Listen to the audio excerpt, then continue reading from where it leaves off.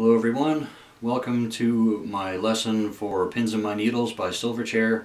This is a revisit. I did this lesson years ago on an old channel I had and uh, the quality was pretty terrible. So I'm trying to update the, the lessons that I had on that channel and bring them to this channel. Um, hopefully the quality will be better and hopefully the lessons will be better. So that being said, Pins in My Needles is in drop D tuning. So tune your guitar to drop D and we'll get started. So the song starts with the verse riff and it's pretty simple, it's only three chords. So I'll play it for you once. Uh, well, I'll play through the verse riff and then I'll show you how to do it.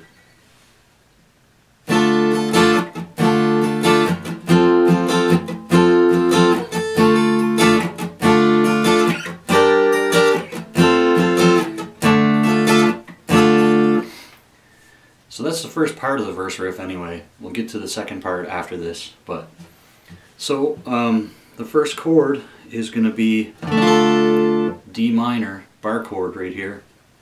It starts on the fifth fret of the A string.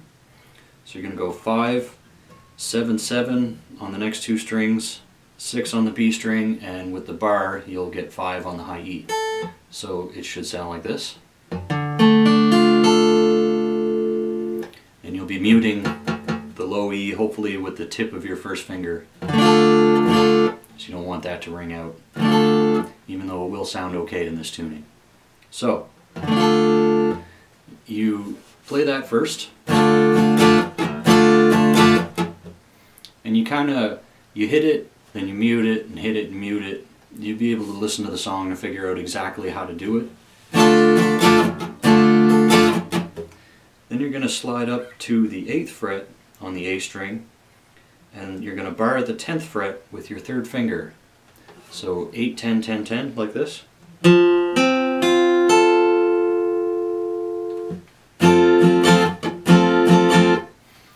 that's the same strumming pattern as the first chord. So you start with the D minor.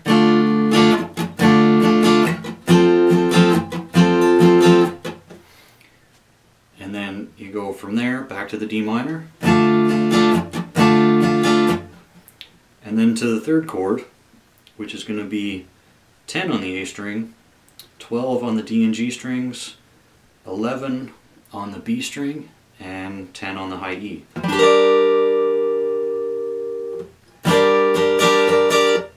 Back to uh, the 8th fret, and then back to the D minor. So those are the only three chords you need to know for the first part of the, the verse riff anyway. And I'll play it through again slowly.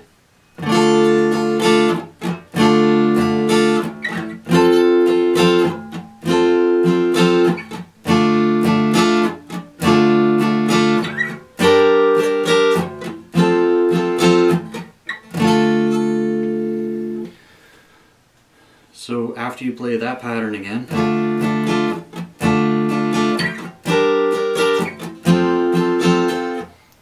get to the second half of the verse riff, which goes like this.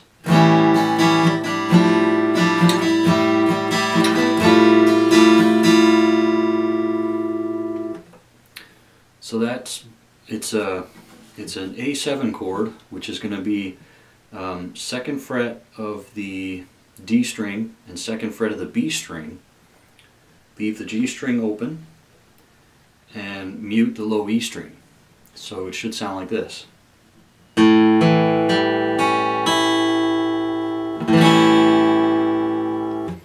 And you're basically going to take that shape and just keep sliding it up. So it starts on the second fret,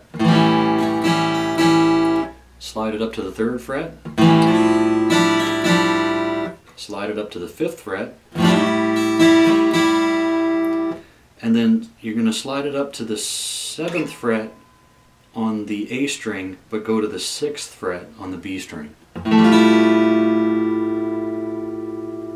So all together slowly.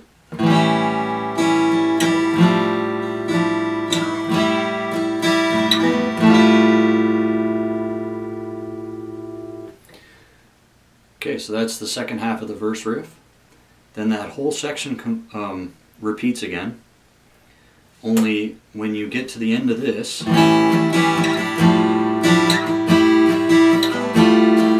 start to repeat it again. But instead of going from the 5th fret to the 7th fret with the 6 on the B string, you're going to go from the 5th fret to the 8th fret on both strings.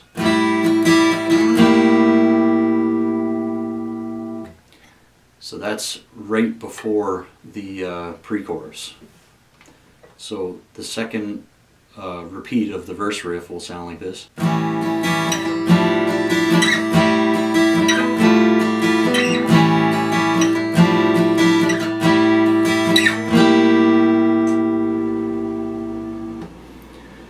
Alright, so then the pre-chorus comes in, and that's pretty simple as well. It's just two chords this time. I'm going to start with the B minor, which is second fret on the A string, four on the D and G, three on the B, and two on the high E. And mute the low E. So it should be like this. And you're going to play that with the same pattern as the uh, verse riff. And then the next chord is an open D chord. So uh, second fret uh, G string, third fret B string, second fret high E. And this time you can include all the strings because we're in a drop D tuning. And you go back and forth between those two chords, so it should sound like this.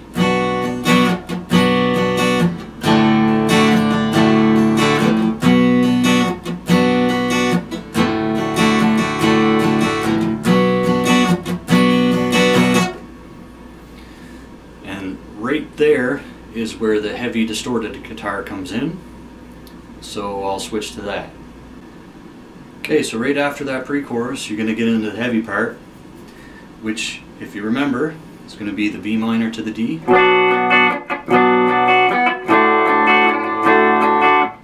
So after that, you're going to switch on your distortion and you're going to sound like this.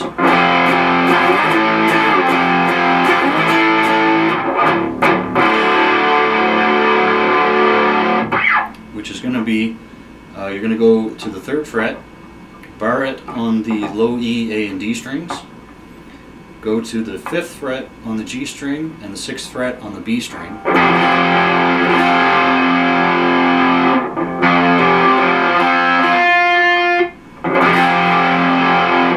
So you're going to hit that three times. Slide that whole shape up to the seventh fret it again. And then you're going to uh, mute the low, low open strings three times and then play the open D chord. Once again.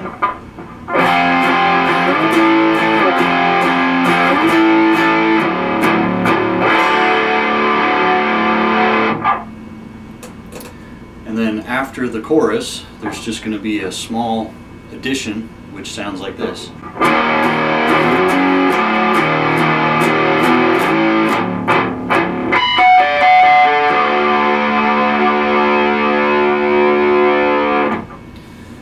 So altogether that, you're just going to do um, one finger power chords on the low three strings. So you're going to start with one slide up to four, open, and then one again, two, and seven. Open mutes. then you're going to play harmonics on the seventh fret. So uh, lightly touch the seventh fret right above the fret, or lightly touch the strings right above the seventh fret. Go high E, B, G, B, G, D, and then open low E string.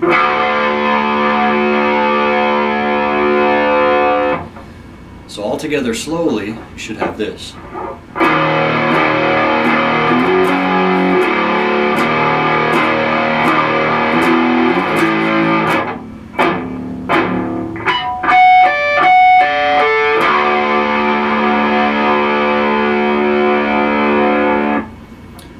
Sometimes the high E harmonic doesn't quite come out the way you want it to, but it's tricky, so make sure you practice that. So really guys, that's pretty much it for the song. I know through the verses you can hear a clean electric guitar playing arpeggiated notes over the acoustic, but really all you have to do for that, if you want to do it at all, is just uh, play the same chords as the acoustic, just pick them out with a clean electric. That's all you got to do. And other than that, the only difference is the last chorus repeats a couple of times, so it's like, um, I mean, not just this part.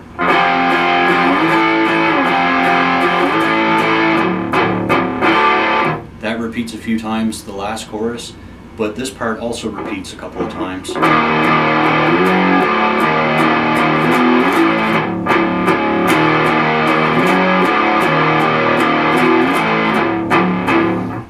Just keep doing that, and then the harmonic part also repeats once, so it'll sound like this.